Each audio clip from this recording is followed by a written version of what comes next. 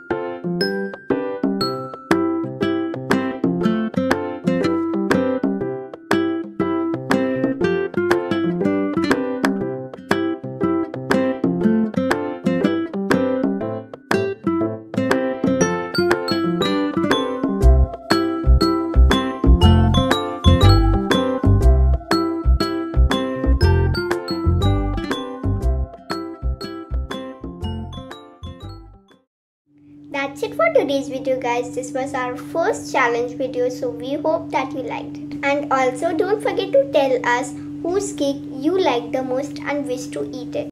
We'll meet you in our next video. Till then.